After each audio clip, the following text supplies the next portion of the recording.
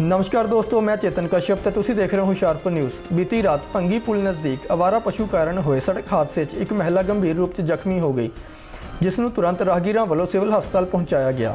ਜਾਣਕਾਰੀ ਦਿੰਦਿਆਂ ਪਿੰਡ ਹਰਦੋ ਖਾਨਪੁਰ ਦੇ ਵਾਸੀ ਸੰਦੀਪ ਕੁਮਾਰ ਨੇ ਦੱਸਿਆ ਕਿ ਉਹ ਆਪਣੀ ਮਾਤਾ ਨਾਲ ਕਿਸੇ ਰਿਸ਼ਤੇਦਾਰ ਨੂੰ ਛੱਡਣ ਲਈ ਜਾ ਰਹੇ ਸਨ ਤੇ ਜਦੋਂ ਉਹ ਭੰਗੀ ਪੁਲ ਨਜ਼ਦੀਕ ਪਹੁੰਚੇ ਤਾਂ ਅਵਾਰਾ ਪਸ਼ੂ ਦੇ ਸਾਹਮਣੇ ਆ ਜਾਣ ਕਾਰਨ ਉਹ ਮੋਟਰਸਾਈਕਲ ਤੋਂ ਡਿੱਗ ਗਏ, ਜਿਸ ਕਾਰਨ ਉਹਨਾਂ ਦੀ ਮਾਤਾ ਬੀਨਾ ਕੁਮਾਰੀ ਦੇ ਮੂੰਹ ਤੇ ਗੰਭੀਰ ਸੱਟ ਲੱਗ ਗਈ ਤੇ ਉਹਨਾਂ ਨੂੰ ਇਲਾਜ ਲਈ ਸਿਵਲ ਹਸਪਤਾਲ ਭਰਤੀ ਕਰਵਾਉਣਾ ਪਿਆ।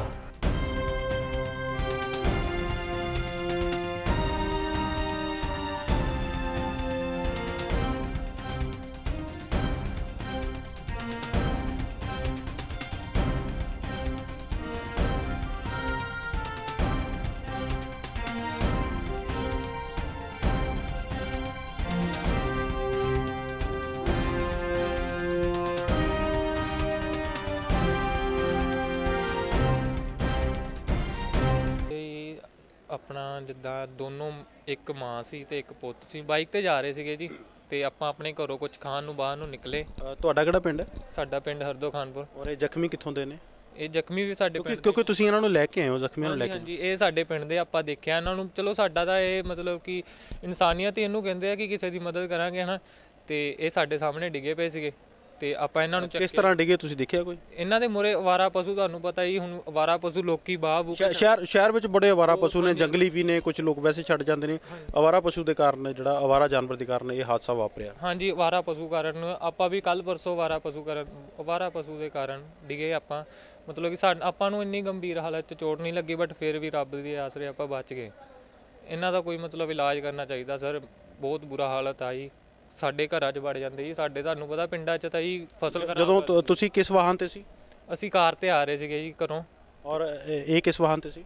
ਇਹ ਪਲੈਟੀਨਾ ਮੋਟਰਸਾਈਕਲ ਸੀਗਾ ਜੀ ਇਹਨਾਂ ਦੇ ਦੋਨੋਂ ਮਾਂ ਤੇ- ਤੇ ਮਾਂ ਪੁੱਤ ਦੋਨੇ ਜਾ ਤੇ ਤੁਸੀਂ ਮਦਦ ਕਰਨ ਦੇ ਇਰਾਦੇ ਨਾਲ ਇਹਨਾਂ ਨੂੰ ਇੱਥੇ ਲੈ ਕੇ ਹੋ ਔਰ ਤੁ- ਤੁਹਾਡਾ ਕਹਿਣਾ ਹੈ ਕਿ ਉੱਥੇ ਅਵਾਰਾ ਪਸ਼ੂ ਸੀ ਜਿਹਦੇ ਕਾਰਨ ਇਹ ਹਾਦਸਾ ਵਾਪਰਿਆ। ਹਾਂਜੀ ਹਾਂਜੀ ਅਵਾਰਾ ਪਸ਼ੂ ਸੀ ਕਾਫੀ ਦੋ ਦੋ ਤਿੰਨ ਜਣੇ ਸੀਗੇ ਏਦਾਂ ਸੜਕ ਕ੍ਰੋਸ ਕਰ ਰਹੇ ਸੀ ਜੱਕਦਮ ਹੀ ਲੜਦੇ ਲੜਦੇ ਇਹਨਾਂ ਦੇ ਸਾਹਮਣੇ ਆ ਗਏ ਜੀ। ਹਾਂਜੀ ਤੇ ਇਹਨਾਂ ਦੇ ਕੋਈ ਕਾਰਵਾਈ ਕਰਨੀ ਚਾਹੀਦੀ ਪਸ਼ੂਆਂ ਦਾ ਬਹੁਤ ਬੁਰਾ ਹਾਲਤ ਆ ਜੀ। ਆਪਾਂ ਤਾਂ ਕੋਈ ਫਸਲ ਲਾਈ ਹੈ ਜੀ ਫਸਲ ਬਰਬਾਦ ਕਰ ਦਿੰਦੀ ਹੈ ਜੀ ਔਰ ਇੰਨੀ ਠੰਡ 'ਚ ਉੱਠਣੇ ਪੈਂਦਾ ਜੀ ਰਾਤ ਨੂੰ। ਇਹਨਾਂ ਨੂੰ ਦੇਖਣ ਕਾਰਨ ਕਿ ਕੋਈ ਪਸ਼ੂ ਤਾਂ ਨਹੀਂ ਬੜਿਆ ਸਾਡੀ ਫਸਲ। ਸੰਦੀਪ ਕੁਮਾਰ। ਪਿੰਡ? ਹਰਦੋ ਖਾਨਪੁਰ। ਜੀ ਕੀ ਹੋਇਆ ਜੀ ਕਿਸ ਤਰ੍ਹਾਂ ਹਾਦਸਾ ਵਾਪਰਿਆ? ਕੌਣ ਕੌਣ ਸੀ?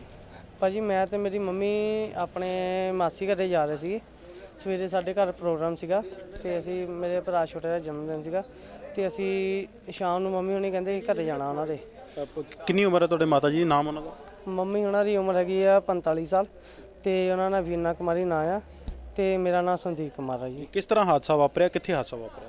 ਹਾਸਾ ਆਪਣੇ ਆਪਾਂ ਜਦੋਂ ਆਪਣੇ ਗਰਾਊਂਡ ਆਪਣੇ ਸਟੇਡੀਅਮ ਆਪਣਾ ਉੱਤੇ ਪੁਲ ਪਾਰ ਕਰਦੇ ਆ ਉਹਦੇ ਪੁਲ ਪਾਰ ਤੇ ਕਰਦੇ ਗਏ ਭਗਤ ਨਗਰ ਨੂੰ ਰਸਤਾ ਮੁੜਦਾ। ਤੋਂ ਥੋੜਾ ਜਿਹਾ ਅੱਗੇ ਆ ਕੇ ਸਾਹਣ ਇੱਕਦਮ ਹੀ ਮੋਰੇ ਆ ਗਿਆ।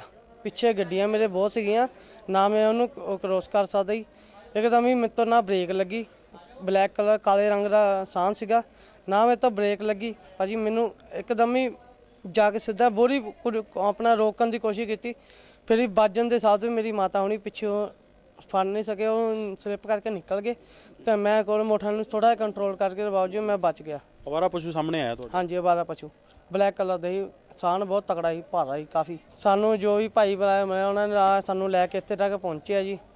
ਅਸੀਂ ਤਾਂ ਉਹਨਾਂ ਦਾ ਸ਼ੁਕਰੀਆ ਅਦਾ ਕਰਦੇ ਹਾਂ ਜੀ ਜਿਹੜੇ ਸਾਨੂੰ ਲੈ ਕੇ ਇੱਥੇ ਤੱਕ ਪਹੁੰਚਿਆ ਮੇਰੀ ਮਾਤਾ ਠੀਕ ਹੈ ਜੀ। ਮੜੀ ਮਦੀ ਕਿਰਪਾ ਹੋ ਗਈ ਮਹਾਰਾਜ ਜੀ ਕਿ ਠੀਕ ਹੈ ਜੀ।